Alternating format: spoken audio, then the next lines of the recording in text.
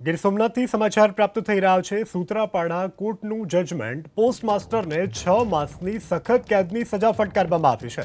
બે હજાર ચૌદના વર્ષમાં સૂત્રાપાડા પોસ્ટ ઓફિસના તાત્કાલિક પોસ્ટ માસ્ટરે અ, નવ હજાર બસો આઠસો ચોર્યાસી રૂપિયાના સરકારી નાણાંની ઉચાપત કરી હતી આ સમગ્ર મામલે સૂત્રાપાડા કોર્ટે પૂર્વ પોસ્ટ માસ્ટર વશરામભાઈ ભાનને અ, નામના નિવૃત્ત પોસ્ટ માસ્ટર અ, કે જેઓને કસૂરવાર ઠેરાવ્યા છે અને છ મહિનાની સખત કેદની સજા ફટકારી છે સૂત્રાપાડા કોર્ટનું જજમેન્ટ પોસ્ટ માસ્ટરને છ માસની સખત કેદની સજા ફટકારવામાં આવી છે બે હજાર ચૌદના વર્ષમાં સૂત્રાપાડા પોસ્ટ ઓફિસના તાત્કાલિક પોસ્ટ માસ્ટરે અ, નવ હજાર બસો આઠસો ચોર્યાસી રૂપિયાના સરકારી નાણાંની ઉચાપત કરી હતી આ સમગ્ર મામલે સૂત્રાપાડા કોર્ટે પૂર્વ પોસ્ટ માસ્ટર વશરામભાઈ ભાનને અ, નામના નિવૃત્ત પોસ્ટ માસ્ટર અ, કે જેઓને કસૂરવાર ઠેરાવ્યા છે અને છ મહિનાની સખત કેદની સજા ફટકારી છે.